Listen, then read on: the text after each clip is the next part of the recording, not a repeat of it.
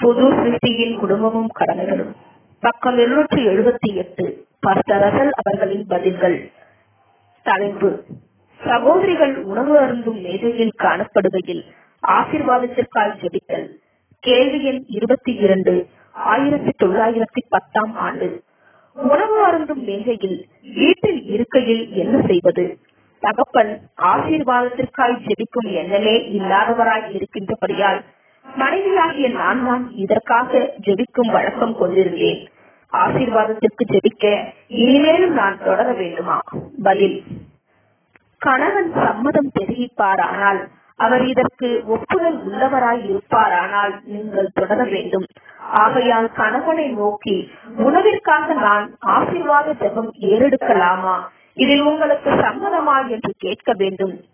ஒருவேளை கணவன் கிறிஸ்தவன் இல்லை என்றாலும் அவரே தொடர்ந்து குடும்பத்தின் தலையாக அடையாளம் கண்டு கொள்ளப்பட வேண்டும். மேலும் கணவனை நோக்கி நான் ஆசீர்வாதத்திற்காய் ஜெபம் எழுதிக்கிறேன். இதை பற்றி நீங்கள் எதுவும் சொல்லக்கூடாது என்று மனைவி கூறிடுவதற்கு பதிலாக கணவனே இதில் உங்களுக்கு மறுப்பு ஏதேனும் உள்ளதா? என்று கேட்பது சிறந்ததாய் இருக்கும். ஒருவேளை அவர் சம்மதம் தெரிவிப்பாரானால் பின்னர் அதை செய்வதற்கான அதிகாரம் உங்களுக்கு இருக்கின்றது.